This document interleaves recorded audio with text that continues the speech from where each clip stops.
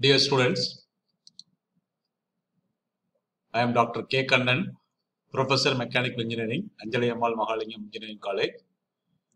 I am happy to meet you through this uh, video lecture series on the subject gas dynamics and jet propulsion. Uh, this is lecture number three on problems on this stagnation properties. So, in the previous lecture, we discussed the stagnation properties and the impulse function. We derived the equations and we discussed the effect of Mach number on the compressibility. And we also discussed the Mach waves and the Mach cones. And today we solve few problems on the uh, stagnation properties. So, learning outcome for this lecture at the end of the lecture, uh, the students will be able to solve problems on stagnation properties on their own. And we recollect the information whatever we discussed earlier. So these equations we are going to use in our uh, calculation in our problem so that uh, we recall. Stagnation temperature is given by TO equal to T plus C square by 2 Cp and uh, TO by T equal to 1 plus gamma minus 1 by 2 into m square. So m is the Mach number, C is the velocity, Cp is the specific heat of the, the fluid, gas. And the stagnation pressure is given by PO by P equal to TO by T to the power gamma by gamma minus 1. And substituting the TO by T in terms of Mach number, so 1 plus gamma minus 1 by 2 m square to the power gamma by gamma minus 1. The stagnation density rho by rho O by rho equal to TO by T to the power 1 by gamma minus 1. And once again substituting the temperature in terms of Mach number 1 plus gamma minus 1 by 2 m square to the power 1 by gamma minus 1. The energy equation HO equal to A square by gamma minus 1 plus C square by 2 plus C max square by 2. This is also equal to AO square by AO square by gamma minus 1. So the HO it is equal to A square by gamma minus 1 plus C square by 2 or HO equal to C max square by 2 or HO equal to AO square by gamma minus 1. So using any of the equation, uh, we can calculate the stagnation enthalpy of the gas. And the impulse function F equal to PA in PA plus rho A C square, pressure force and the inertia force, sum of the pressure force and the inertia force. And the first problem, example number one, air is stored in a reservoir at 303 Kelvin. Determine the stagnation enthalpy and the velocity of sound in it. You take gamma equal to 1.4, R equal to 287 joules per kilogram Kelvin. And the given data, the stagnation temperature, the temperature of the reservoir. So reservoir, the air is stored, it is not moving. The air is stagnant inside the reservoir. The temperature given is stagnation temperature. So TO equal to 303 Kelvin, gamma equal to 1.4, and R equal to 287 joules per kilogram Kelvin and the stagnation velocity of the sound AO equal to square root of gamma or TO uh, substituting square root of 1.4 into 287 into 303 is equal to 348.9 meters per second. And uh, specific heat of air at constant pressure. So from the given value of gamma and R, we have to calculate Cp, which is gamma R by gamma minus 1 so substituting 1.4 to 287 divided by 1.4 minus 1 equal to 1004.5 joules per kilogram Kelvin. And the stagnation enthalpy HO equal to Cp into TO. So 1004.5 into 303 equal to 304.36 kilojoules per kilogram. So we have to calculate the stagnation enthalpy. The answer is uh, stagnation enthalpy HO equal to 304.36 kilojoules per kilogram and stagnation velocity of the sound AO equal to 348.9 meters per second. Now we take the example 2. An air jet at 350 Kelvin has a sonic velocity. Determine velocity of the sound, velocity of the sound at stagnation condition, maximum velocity of the jet and stagnation enthalpy and the Crocco number. Take gamma equal to 1.4 and R equal to 287 joules per kilogram Kelvin. And the given data the static temperature is 350 Kelvin, gamma equal to 1.4 and R equal to 287 joules per kilogram Kelvin. For sonic condition, M equal to 1, Mach number equal to 1. So the C equal to A. So the velocity of the sound C equal to A equal to square root of gamma R into T. So A equal to C equal to square root of gamma R into T that is equal to square root of 1.4 into uh, 387 into 350 is equal to 375 meters per second. Velocity of the sound, stagnation velocity of the sound. So from the enthalpy equation, energy equation, AO square by gamma minus 1 equal to A square by gamma minus 1 plus C square by 2. Substituting all these values, AO square by 1.4 minus 1 equal to 375 square divided by 1.4 minus 1 equal to 375 square divided by 2. So calculating from this equation, AO equal to 410.79 meters per second. So stagnation velocity of the sound equal to 410.79 meters per second. And the maximum velocity of the jet, once again using the enthalpy equation, 1 by 2 C max square equal to AO square by gamma minus 1. So 1 by 2 C max square equal to 410 square, 410.79 square divided by 1.4 minus 1. So solving Cmax equal to 918.55 meters per second. And stagnation enthalpy HO equal to 1 by 2 Cmax square is equal to 1 by 2 918.55 square is equal to 421.87 kilojoules per kilogram. And the Crocco number equal to C by C maximum. So 375 divided by 918.55 equal to 0.408. Now the answer, velocity of the sound is 375 meters per second. Velocity of the sound at stagnation condition equal to 410.979 meters per second. Maximum velocity of the jet equal to 918.55 meters per second. And the stagnation enthalpy equal to 421.87 kilojoules per kilogram. And the Crocco number is 0.4082. These are all the answers for the problem. And example number three, an aircraft flying at an, at an altitude of 10 km where the ambient temperature is 223 Kelvin. Find the Mach number and classify as subsonic or supersonic when the speed of the aircraft is 1 30 meters per second, 2 300 meters per second, 3000 meters per second and take gamma equal to 1.4 and R equal to 287 joules per kilogram Kelvin. So given data, the temperature is 223 Kelvin, gamma equal to 1.4 and uh, R equal to 287. And the sonic velocity A equal to square root of gamma RT. So square root of 1.4 into 287 to 223, which is 299 point meters per second. And for three different cases, for first case, C equal to 30 meters per second, M equal to C by A, 30 divided by 299.3 equal to 0.1, the flow is subsonic. For C equal to 300 meters per second, so C by A equal to 300 divided by 299.3 equal to 1. So the, the flow is sonic. And for C equal to 1000 meters per second, M equal to C by A equal to 1000 divided by 299.5 equal to 3.34, the flow is supersonic. So the first case 30 meters per second, the flow is subsonic. 300 meters per second, the flow is sonic. And 1000 meters per second, the flow is supersonic. And example number 4, a sonic velocity air jet has a temperature of 300 Kelvin. Determine velocity of the sound in the jet, stagnation temperature and enthalpy of the jet, stagnation to static pressure ratio and maximum speed of the jet. You take gamma equal to 1.4 and R equal to 287 joules per kilogram Kelvin. So the given data, static temperature is 300 Kelvin, gamma equal to 1.4 and R equal to 287 so for sonic condition, once again, m equal to 1. So c equal to a. So velocity of the sound in the jet. So a equal to square root of gamma rt. So 1.4 into 287 to 300 equal to 347.2 meters per second. And stagn stagnation temperature. So TO equal to T into 1 plus gamma minus 1 by 2 m square.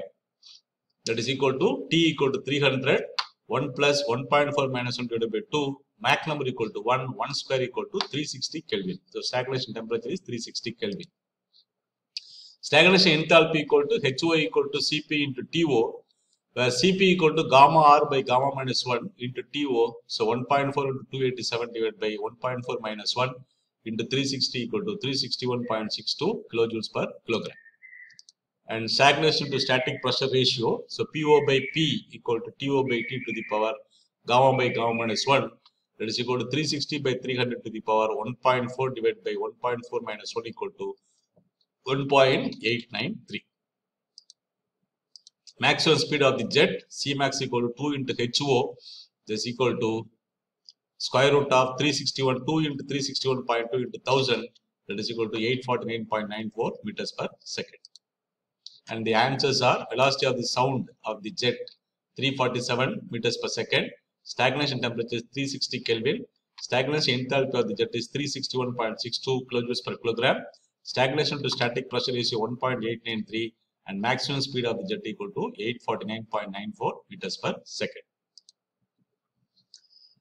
And example number 5, a carbon dioxide jet at 473 Kelvin has a sonic velocity. Determine the velocity of the sound in the jet, stagnation temperature and enthalpy of the jet, stagnation velocity of the sound, stagnation to static pressure ratio, maximum velocity of the jet and Crocco number. Now you take uh, for CO2 gamma equal to 1.237 and R equal to 189 joules per kilogram Kelvin for CO2. So given data, static temperature is 300 Kelvin, gamma equal to 1.237 and R equal to 189 joules per kilogram Kelvin. For sonic condition, M equal to 1 and C equal to A. Velocity of the sound in the jet A equal to square root of gamma RT which is square root of 1.237 into 189 into 473 which is equal to 332.54 meters per second. Stagnation temperature TO equal to T into 1 plus gamma minus 1 by 2 m square which is equal to 473 into 1 plus 1.237 minus 1 divided by 2 into Mach number equal to 1, 1 square equal to 529 Kelvin. And stagnation enthalpy equal to HO equal to Cp into TO which is gamma R by gamma minus 1 into TO 1.237 into 189 divided by 1.237 minus 1 into 529 equal to 521.84 kilojoules per kilogram and stagnation velocity of the sound AO equal to gamma R into TO, uh, which is square root of 1.237 into 189 into 529 equal to 351.67 meters per second.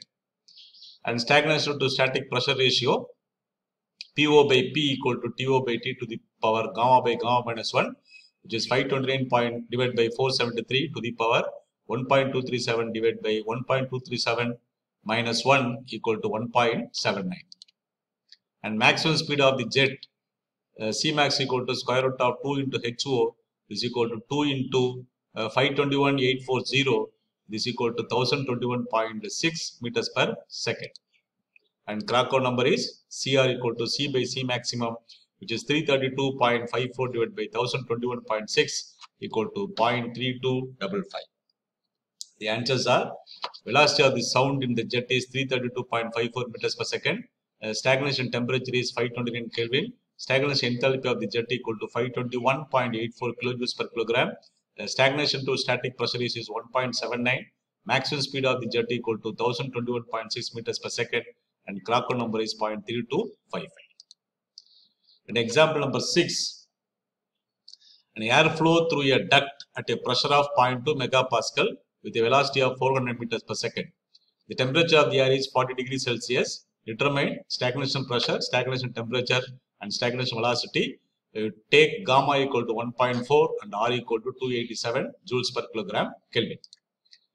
And the given data, pressure equal to 0.2 megapascal, velocity C equal to 400 meters per second, T equal to 40 degrees Celsius, which is 313 Kelvin, gamma equal to 1.4 and R equal to 287 joules per kilogram Kelvin and the Mach number for the flow m equal to c by a which is c by square root of gamma rt uh, 400 divided by square root of 1.4 into 287 to 313 equal to 0.634 stagnation temperature to equal to t into 1 plus gamma minus 1 by 2 m square which is equal to 313 into 1 plus 1 plus 1.4 minus 1 divided by 2 into 0.634 square equal to uh, 338.2 Kelvin.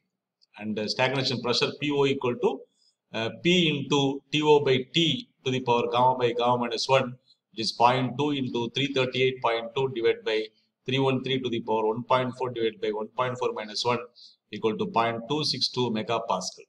And the stagnation density rho y equal to PO by R into TO that is 0.262 into 10 power 6 megapascal to pascal 10 power 6 divided by 287 into 338.2 this is equal to 2.7 kilograms per meter cube. The answers are the stagnation temperature is 338.2 Kelvin, stagnation pressure is 0.262 megapascal and stagnation density is 2.7 kilograms per meter cube. And example number 7, the pressure, temperature and Mach number at the entry of a flow passage is 2.5 bar, 27 degrees Celsius and 1.5 respectively. If the exit Mach number is 2.5, determine for adiabatic flow, one the stagnation temperature at the jet at the inlet, static temperature and the velocity at the exit, flow rate per square meter area, you take gamma equal to 1.3 and R equal to 469 joules per kilogram Kelvin. And the given data P1 equal to 1, 2.5 bar, T1 equal to 27 degrees Celsius, M1 equal to 1.5, M2 equal to 2.5, gamma equal to 1.3 and R equal to 469 joules per kilogram Kelvin. For adiabatic flow, TO1 equal to TO2, so the stagnation temperature at the inlet TO1 equal to T into 1 plus gamma minus 1 by 2 m square, uh, which is uh, 300 plus 300 into 1 plus 1.3 minus 1 divided by 2 into 1.5 square is equal to 401.25. So TO1 equal to 401.25, which is also equal to TO2. So the static temperature and velocity at the exit T2 equal to TO2 by 1 plus gamma minus 1 by 2 m2 square, which is 401.25 divided by 1 plus 1.3 minus 1 divided by 2 into 2.5 square that is equal to 207.1 Kelvin. And C2 equal to M2 into A2 which is M2 into square root of gamma R T2 which is equal to 2.5 into square root of 1.3 into 469 into 207.1 that is equal to 881 meters per 0.18 888.1 meters per second. Density at the inlet so rho 1 equal to P1 by R into T1 so 2.5 into 10 power 5 uh, divided by 469 into 300 equal to 1.776 kilograms per meter cube and the mass flow rate per unit area. So M by A equal to rho 1 into C1 which is rho 1 into M1 into A1 which is 1.776 into 1.5 into the square root of 1.3 into 469 into 300 that is equal to 1139.3 kilograms per second meter square. The answer are Stagnation temperature is 401.25. Static temperature at the exit is 207.1 Kelvin. And uh, velocity at the exit is 888.1 meters per second. Flow rate per square meter area 1139.3 kilograms per second meter square. And example number 8, air enters a duct at 310 Kelvin, 3.5 bar and 150 meters per second and leaves at 280 Kelvin and 2 bar. The area of the cross section at the entry is 500 centimeter square. Assuming adiabatic flow, determine the stagnation temperature, maximum velocity, mass flow rate, and the area at the exit. You take gamma equal to 1.4 and R equal to 287 joules per kilogram Kelvin for air. So given data, so T1 equal to 310 Kelvin, P1 equal to 3.5 bar, C1 equal to 150 meters per second, T2 equal to 280 Kelvin, P2 equal to 2 bar, a1 equal to 500 centimeter square, gamma equal to 1.4 and R equal to 287 joules per kilogram Kelvin. And specific heat of air at constant pressure Cp equal to gamma R by gamma minus 1 uh, which is 1.4 into 287 divided by 1.4 minus 1 equal to 1004.5 joules per kilogram Kelvin. And stagnation temperature at the inlet TO1 equal to T1 plus C square by 2 Cp which is equal to 310 plus 150 150 square divided by 2 into 1004.5 is equal to 321.2 Kelvin. And maximum velocity is uh, C max equal to square root of 2 into HO which is equal to 2 into uh, square root of 2 into Cp into TO, HO equal to Cp into TO. So substituting 2 into square root of 2 into 1004.5 into 321.2 which is 803.3 meters per second. Density of the air at inlet and the outlet. So rho 1 equal to uh, P1 by R into T1. So 3.5 into 10 power 5 divided by 287 310 is equal to 3.93 kilograms per meter cube. Rho 2 P2 by R into T2 which is equal to 2 into 10 power 5 divided by 287 into 280 that is equal to 2.49 kilograms per meter cube. So mass flow rate of the air m equal to rho 1 a1 c1. So 3.93 into 510 power minus 4 uh, to convert centimeter square to the meter square into 150 that is equal to 29.472 kilograms per second. And velocity of the air at the exit for adiabatic flow. Uh, velocity of the air at the exit. For adiabatic flow we know TO1 equal to TO2. So T1 plus C1 square by 2 into Cp equal to T2 plus C2 square by 2 Cp. Uh, substituting uh, 310 plus 150 square by 2 into 1004.5 equal to 280 plus c square by 2 into 1004.5 uh, solving c2 equal to 287.7 meters per second and the area at the exit a2 equal to m by rho 2 into c2 so m equal to 29.475 rho 2 equal to 2.49 and c2 equal to 287.7 so the area equal to 0.0414 04114 meter square, which is 411.4 centimeter square. The answer are stagnation temperature is 321.2 Kelvin, maximum velocity is 803.3 meters per second, mass flow rate is 29.475 kilograms per second, and the area area at the exit is 411.4 centimeter square. And uh, we stop here. And this is the book what I referred for all the problems you can also refer to the book published by another Anuradha Publications. And if you have any queries on the subject and the problem, you can write to me to the mail ID. I will sincerely answer to your, all your queries. Thank you. We'll meet again.